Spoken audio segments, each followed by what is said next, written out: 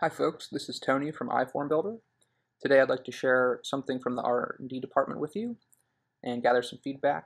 This is the annotation widget which has been widely requested um, across the user base and we feel that it's uh, at a point now where we can share this with you and get some feedback.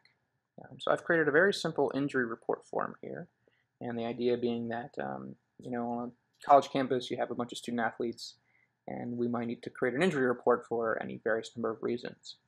Um, so very simple form, type in the student's name, get the medications and known allergies back using Smart Table Search, and then we have this injury diagram field down below. And this is simply the drawing element which has been uh, redesigned in this test build I'm showing you uh, to support this annotation widget we've put together. So let's start down here at the bottom. Um, the first icon is camera input, so we can you know take uh, take a picture with a device camera to use it as our underlying image my computer screen is not so helpful for this demonstration, so I'm going to cancel out of that. The next icon allows you to choose from your um, photo roll on the device, and uh, I'm going to go ahead and select this, um, this person diagram and use it as my background image.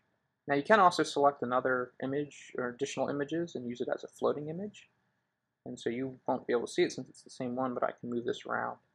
And you can see this is actually two images. So it's a floating image on top of a background image.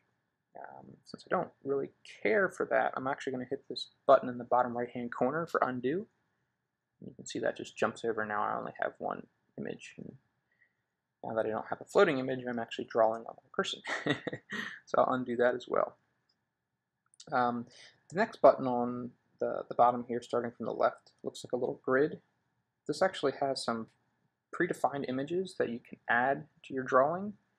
And so in this case, um, I'm not sure that any of these images really apply for our injury report, but I could select this red X and, you know, let's just say it was my shoulder that was injured. And maybe that's the way that you want to mark it up rather than using a pen. So you have that option as well, and you can move these move these around. They're simply just images that can be drag and drop all over the place. Uh, since I really don't want this, I'm going to actually undo this as well. And the next icon in is the little uh, pencil pointing up and this allows us to change the color of the pencil, the size of it, and then the opacity of the, you know, the lines that we're going to be drawing. And you can select from either one of these four predefined colors or use the, you know, use the color wheel on the right here to, to define your own color. And so we'll go ahead and just choose red. And since I was playing baseball and got hit in the ear, I now have an ear injury, which we're going to go ahead and circle. Um, so that's, you know, that's pretty straightforward. Everybody has seen, you know, the ability to draw with their finger, and um, that's, that's pretty intuitive. The next button in is this text button, and likewise we can also change the color of our text as well as the size of it um, for whatever, you know, whatever size we think is necessary, font type. Um, so I'll use this bold font and say that um, Tony was hit in the head with a baseball he has a concussion. So that's pretty cool. We can use Siri to uh, add a text note here and say done. Once we've added the text, I can drag and drop this just like our images if I want it at the top or the bottom. You know, it doesn't really matter. We also saw the ability to do a timestamp in here, so we can do a timestamp and add that to our photo as well, which is pretty nifty. And then this, uh, this final button right next to the, the text icon is just allowing us to change how the marker or the pen is, is creating the line or the shapes. And so you can see this first one in is simply pen or pencil, and then you have an eraser. So I can erase this red line if I didn't, you know, didn't like the way that was drawn.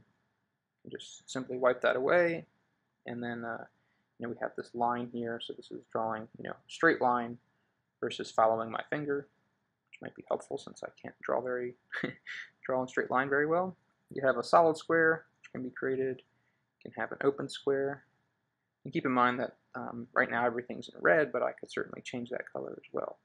If I wanted to do green and then redraw the same square, I can do that. Pretty cool. So circle, open circle, and then you have your triangles. So pretty straightforward, and we're going to go ahead and wipe these out since they're not applicable. And uh, I still do have an ear slash ear injury slash concussion, so we'll go back and um, circle my ear that was injured. Oops. You can see I'm still using the triangle, and that's actually indicated down here in the bottom. You can see I'm on the triangle symbol. So what I need to do is hit back, click on this, and then switch back over to my pen. And now I can circle my ear. Pretty cool, huh? All right, so um, I hope you enjoy, and we look forward to hearing some comments from you, and uh, please leave your feedback underneath the video or, or under this post, and um, we're really looking forward to hearing from you. Thanks, have a great day.